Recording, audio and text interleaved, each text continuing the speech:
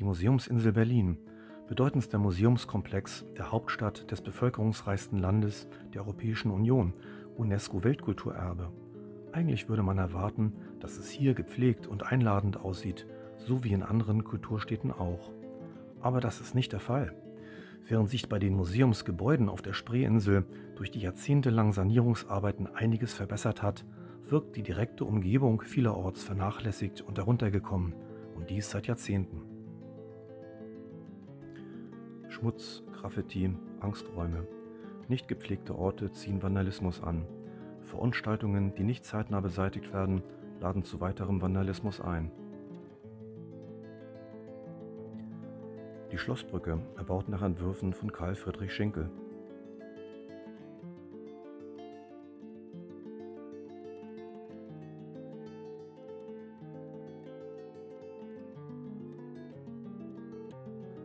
Berlin sieht seine Museumslandschaft gerne auf einer Höhe mit Paris und London. Aber sieht es dort auch so aus?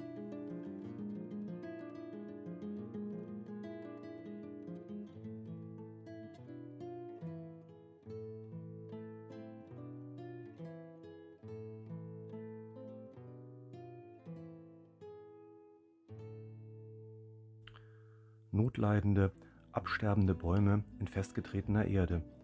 Ein kaputter, notdürftig gepflegter Bodenbelag, unverändert seit Jahrzehnten. Zwischen den Museen überbreite Asphaltflächen für den Straßenverkehr und parkende Busse, ein schmaler Bürgersteig für die Fußgänger, ungepflegte, teilweise verwilderte Grünflächen hinter dem Dom.